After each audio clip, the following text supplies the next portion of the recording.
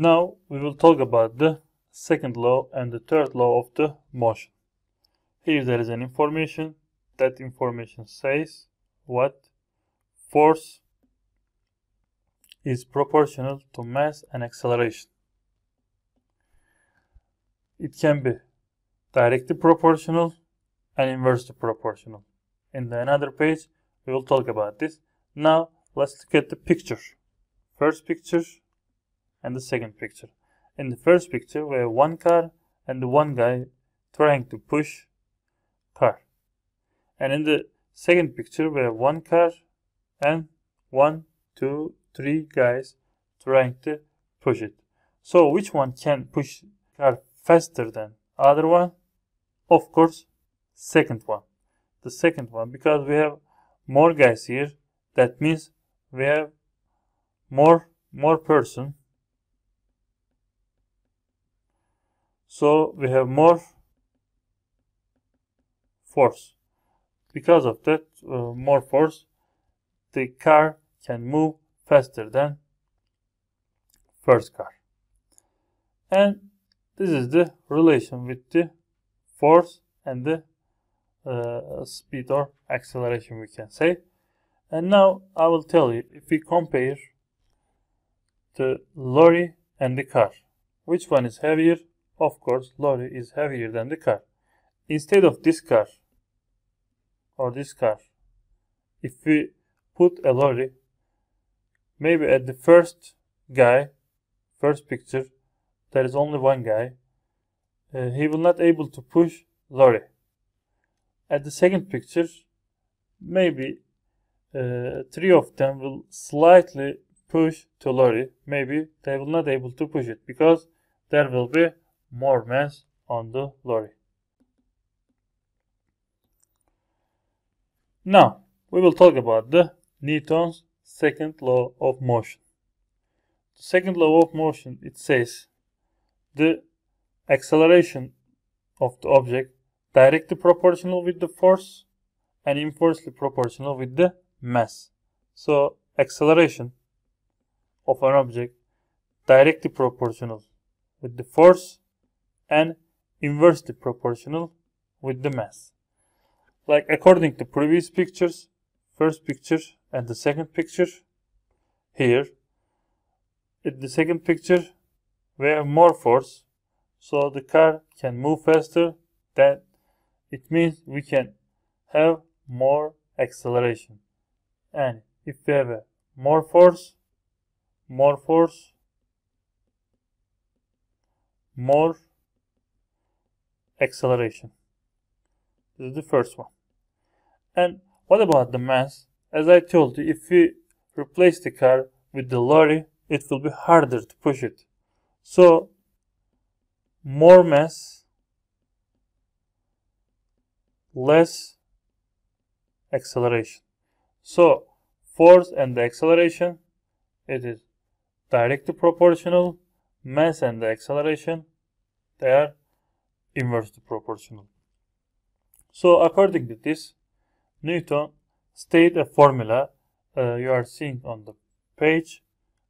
Force equal or net force we can say equal mass times acceleration. Here we can say unit of the force is Newton, unit of the mass is kilogram, and unit of the acceleration is meter per second square. So according to this formula, we will solve some questions. So you should keep it in your mind. Now we read sample problem 3b. Let's read the question. Kavan slides 2.2 kilogram book towards the Dana, who sit on other side of the table. If the net external force acting book 2.6 Newton to the right, so direction is the right, what is the book's acceleration? This is the easiest question which you can face in this book maybe, I can tell you. So mass of the book, mass is given 2.2 kilogram And what is the another given?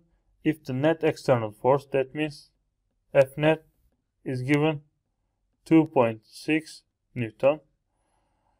And question says what is the acceleration? So it is asking what is the acceleration.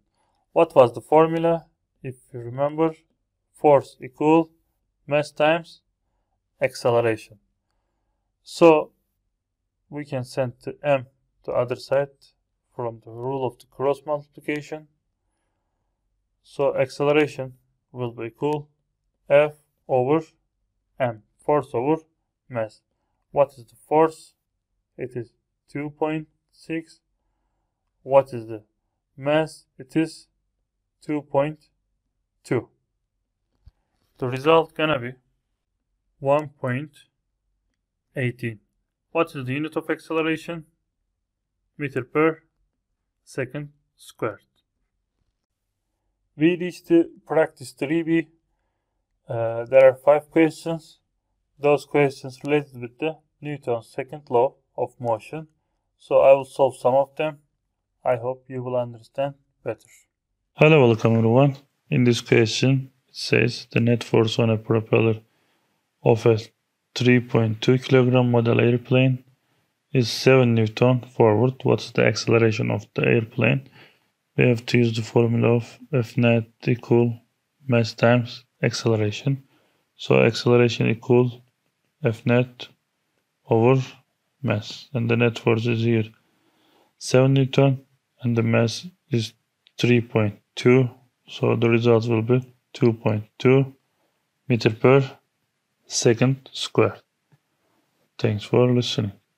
In this question, it says a car has mass 1.5 times 10 to 3 kilogram. If the force acting car 6.75 times 10 to 3 newton to do is what is the car acceleration? Again, direction must be same as the direction of the force because it says east and there is only one force.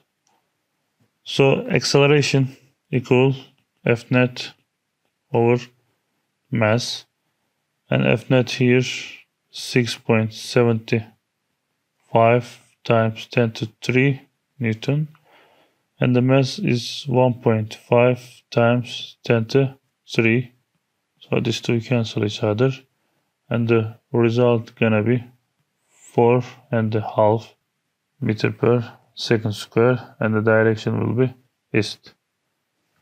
Thanks for listening. 2 kilogram water starts from a rest at the top of the mud incline, 85 centimeter long, and slide down the bottom in 0.5 second. What net force act on the other along the incline? So question says, what is the net force? And to calculate the net force, I need mass and the acceleration. Mass in this question is given 2 kilogram and acceleration is not given directly. So I have to use the previous chapter's formulas to calculate it. And here given is time 0.5 second and we have x which is 85 centimeter. I have to convert it into meter. It will be 0.85 meter. And to calculate the acceleration, I will use this formula x equals v initial times t plus half a t squared. Initial velocity, it says at the rest 0, so this will be 0. And the x is given 0.85, which is equal half times acceleration times times 0.5 squared. And if you send 2 here, and if you divide it by both sides 0.5 squared, 0.5 squared, then acceleration gonna be here 6.8 meter per second squared. Then I will substitute this in the Fnet formula, mass times acceleration.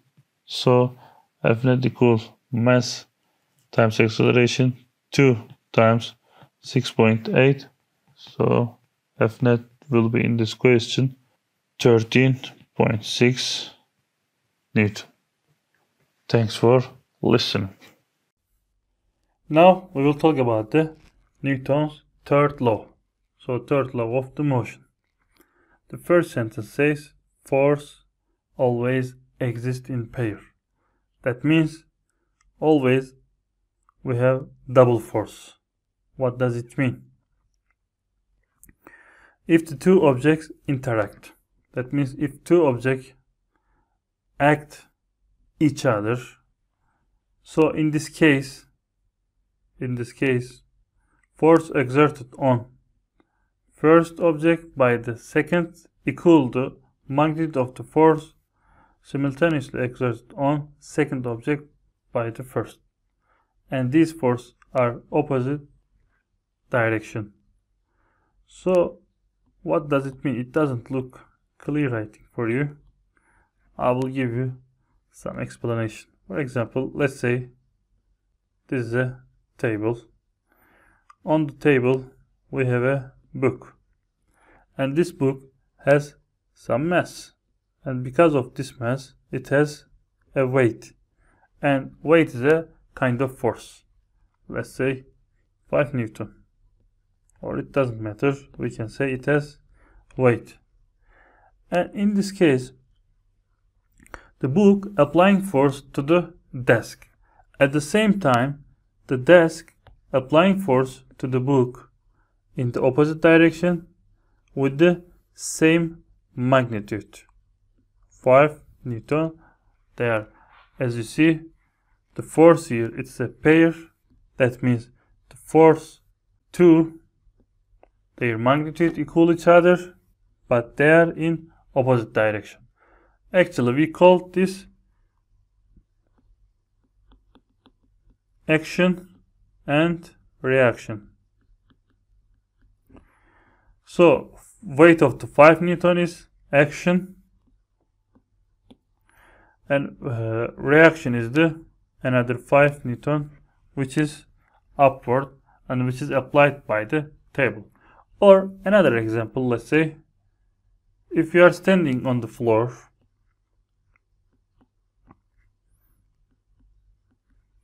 if you are standing on the floor at this time you are applying a force to the floor and downward.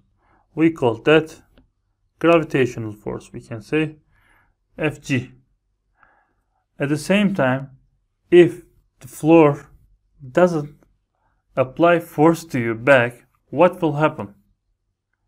You have to sink in it. Like if you try to walk on the water what will happen? You will sink in it. Because in this case uh, when you step on the water the water uh, doesn't uh, react you with the same amount of your weight so when you step on it you will sink in it. But if you step on the rigid body there will be same amount of the force if it is not the over its limit with the opposite direction. So there will be a force. This force is the reaction force we can say. So reaction force and Fg yani action force they are equal each other. Actually their magnitude equal each other. Their directions are opposite to each other. So this is the third law. Force always exists in a pair and they are carrying same magnitude but they are acting in opposite direction we can say. Like this on the picture there is a weight of the book and upward force of the table we can say like this we can look at it. And if we use dynamometer two dynamometer if we attach them each other if you attach one of the dynamometer to somewhere if you pull it you will see they are indicating same amount of the force but their direction of the force opposite to each other always so the one is the action the other one is reaction. Keep this one in your mind. Now, action and reaction force act on different objects. What does it mean? For example, here you have a hammer and a nail. If you hit the nail with the hammer, that means you are applying a force. In this case, you apply the force to the nail. And according to third law of motion, the nail must react to what? Hammer. And this information says action and the reaction force in the different object. So action force here force in nail and the reaction force here reaction force on hammer. Their directions are opposite each other.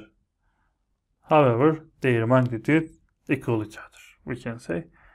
And here there is another information field forces also exist in pairs. So it means every kind of force has pair according to third law of the motion